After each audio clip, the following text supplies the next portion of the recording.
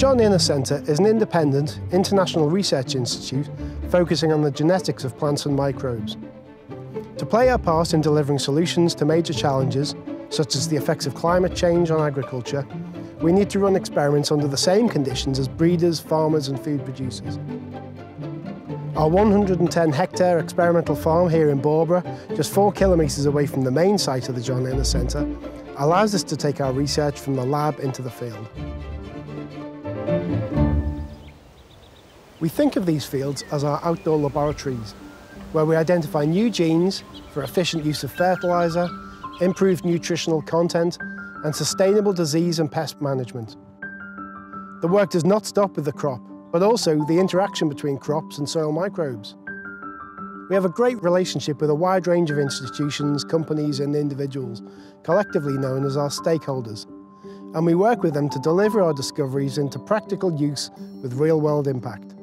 Our experimental trials are customised to individual research requirements. Typically, we grow wheat, oilseed rape and peas, but we can grow any crops that are suited to our climate.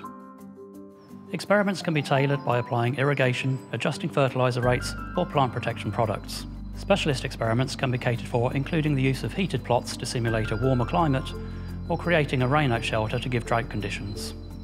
Our farm machinery uses GPS to accurately map and position each experimental plot. We have trial-sized combine harvesters that collect data including grain weight and moisture content. Peas are sown, maintained and harvested by hand. Drones are used to collect data for measuring key traits, including height, green coverage and crop emergence. Hi, I'm Becca, one of the field technicians who helps in all stages of the field experimentation trials. Here in the Dorothea de Winton Field Station, we have laboratories, climate-controlled seed storage, meeting room and seed processing equipment. All the harvest seed is brought back to the field station where it is cleaned, bagged and processed for further field experiments. Additional analysis can be carried out such as grain measurements or nutritional analysis. Clean seed is stored for future use by JIC researchers and other stakeholders.